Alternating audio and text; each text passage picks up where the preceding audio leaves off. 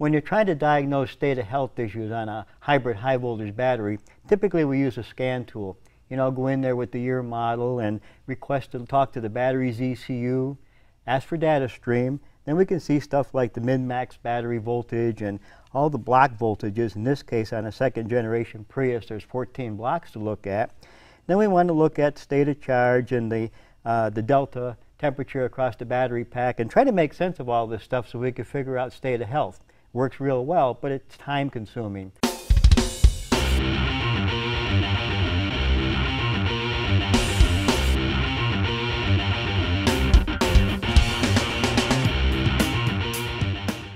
Well, now we have a tool that we can use to plug into the diagnostic connector and drive the vehicle around for a short period of time.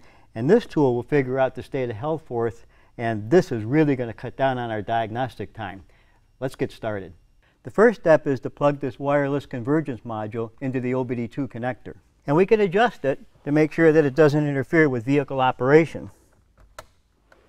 In some cases that may not be possible, so there's a short cable that's available to move the convergence module off to the side.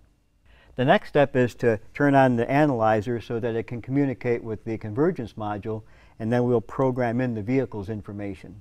With this tester, we can review trouble codes if we want to, we can do a run chart, and that's where we're watching the battery voltage go in and out of the battery as we drive the vehicle around. Or we can do a drive test to determine the battery state of health. Let's take it for a ride. One of the things that speeds up this test is to be sure that the high voltage battery pack is up to temperature.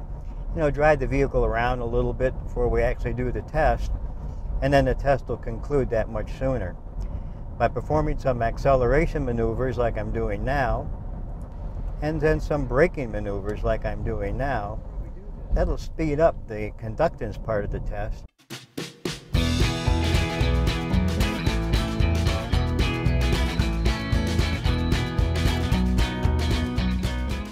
now that we've heard the beep and we know the test has been completed, we'll take it back to the shop and we'll get a printout and a really good indication of the state of health of this high voltage battery pack.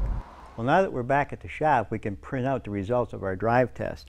And the printer that comes with the tester is wireless, so all we have to do is aim the tester at the printer, and we start getting the printout. This is going to be easy to analyze because the printout is going to give us the average block voltage and the temperature spread across all the modules. And there'll even be an indication on the printer printout that says whether the battery is good or it's out of balance or it needs some sort of service. As we can see right here, we have a good battery pack and we can look at the average block voltage, the conductance, the temperature spread, and there's even an analog bar on here to give us a quick diagnostics of the battery state of health.